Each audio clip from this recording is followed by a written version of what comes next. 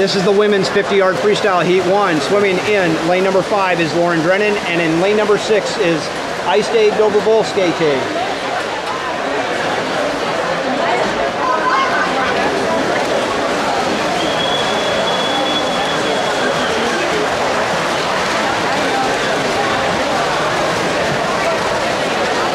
Ice Day finishes with a 24.95. Lauren finishes with a 25.31.